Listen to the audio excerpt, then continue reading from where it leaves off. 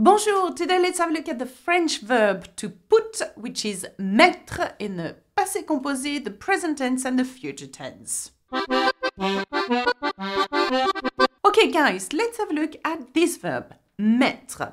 As I said, it means to put, as in to put on something or to put something on top of something. Mettre is used for this, but it's used in many idioms as well. Today I'm going to cover the simplest uh, way to use mettre. Okay, so what are we? What are we? What we are going to do is conjugate it in the present tense. First, I'm going to teach you how to say I am putting or I put. Okay, quite simply. We have one way of saying that. It's je mets. Can you say that? Well done, you. And then we carry on. Tu mets. Il met. So he is putting on, he puts on. Elle met.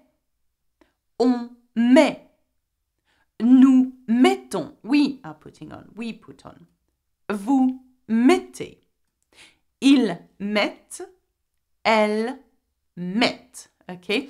Now you will notice here that though there is an S at and two, we do not pronounce, even the T actually, we do not pronounce the T except for nous mettons, vous mettez, which are the endings for nous and vous. And il and elle, remember that if it has ent at the end, it is not pronounced en but e. Okay, so we say il mettent, elles mettent. It's very important. Okay. Now, if I were to use an example using this present tense of the verb mettre, it will become like this. Nous mettons nos manteaux car il fait froid dehors. Nous mettons, we are putting on. What are we putting on? Nos manteaux, our coats. Car, because il fait froid dehors. It is cold outside. So we are putting on our coats, okay?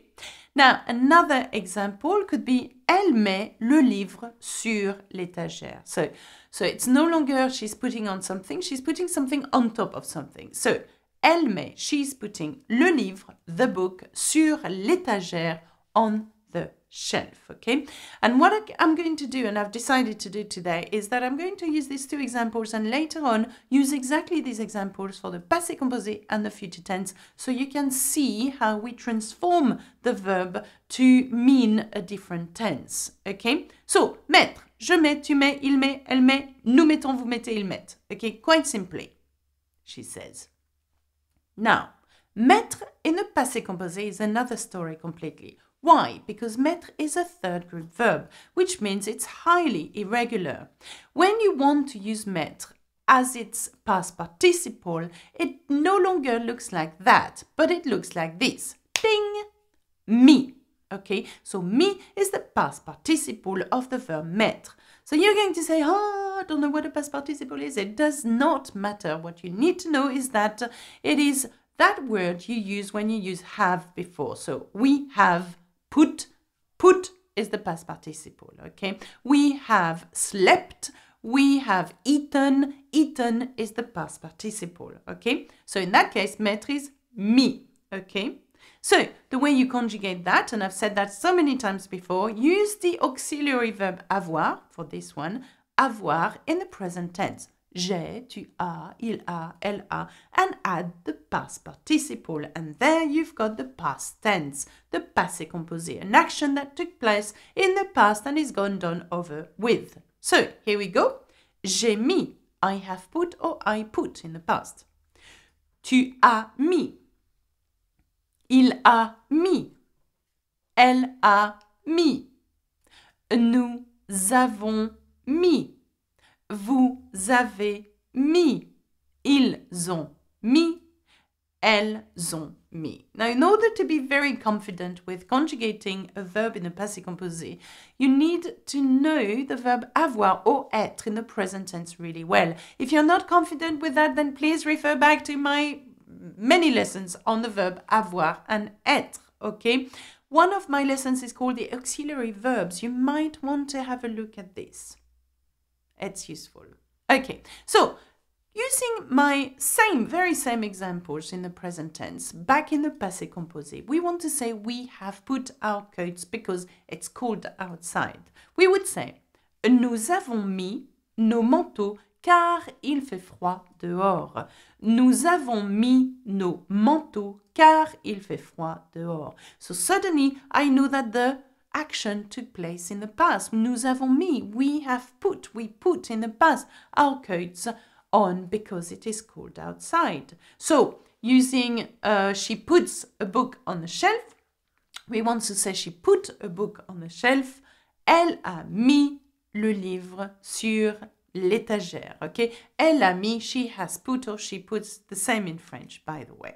Okay, so this is the way we conjugate a verb in the passé composé.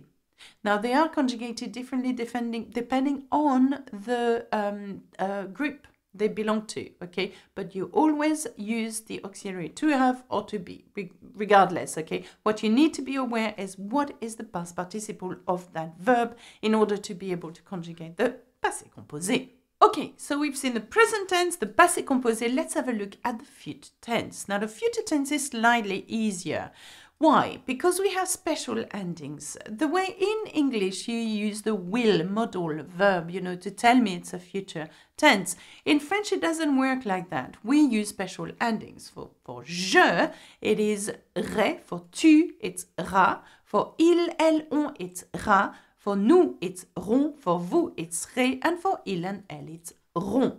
Once you know these special endings, and that works for all the verbs, okay, and you know the stem of the verb you want to use, then you put the two together, and that creates a future tense. So, je mettrai is I will put. Tu mettras, you will put. Il mettra, he will put. Elle mettra, she will put. On mettra, one will put. Nous mettrons, we will put. Vous mettrez, you will put.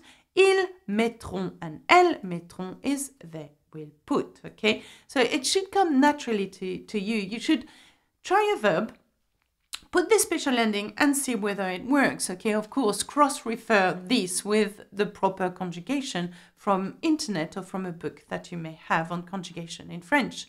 Now, We've got it. Je mettrai, tu mettras, il mettra, and so on. Let's have a look at our two examples that we have so far used. How would you say we will put on our coats because it's cold outside?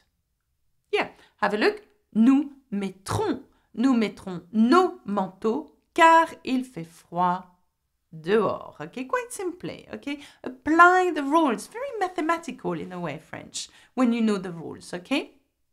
Elle mettra le livre sur l'étagère. L'étagère. So she will put the book on the shelf. Okay? Elle mettra.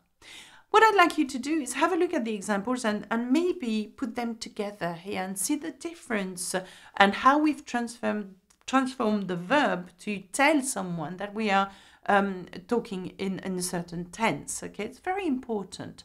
Okay, that's it for me. If you want to know how this verb is conjugated in the imperfect and conditional tense, have a look at learnfrenchwithalexa.com and you will have access to the support guides for this lesson as well. Remember to subscribe to my YouTube channel if you have not done so already. That's it for me. Au revoir. À bientôt. Bisous, bisous.